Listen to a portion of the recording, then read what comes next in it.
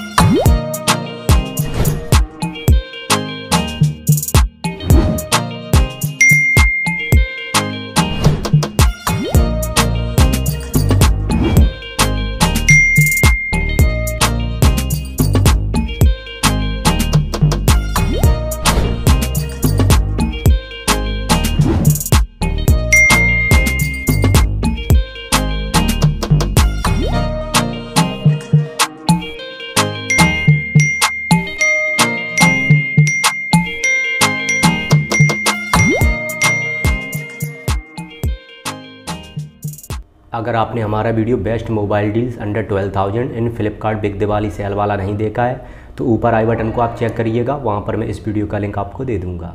अब मैं आपको बताने वाला हूँ कि आपको इन दोनों स्मार्टफ़ोन में से किस स्मार्टफ़ोन को किस कंडीशन में परचेज करना चाहिए। अगर आप रियलमी के फ़ैन हैं साथ ही साथ अगर आप नौ हज़ार चार सौ पचास रुपये से एक रुपये एक्स्ट्रा खर्च नहीं कर सकते हो तो आपको Realme Narzo fifty A के साथ जाना चाहिए। अगर आप फुल एच डी प्लस का डिस्प्ले चाहते हो, साथ ही साथ डुगल स्पीकर जैसे थोड़े से एडिशनल फीचर चाहते हो तो आपको पोको एम थ्री के six G B plus sixty four G B वाले वेरियंट के साथ जाना चाहिए। यहाँ पर आपको काफ़ी अच्छे स्पेसिफिकेशन देखने को मिल जाते हैं। तो मुझे उम्मीद है वीडियो आपको अच्छी लगी होगी। अगर आपको वीडियो अच्छी लगी तो वीडियो को लाइक कर दीजिएगा।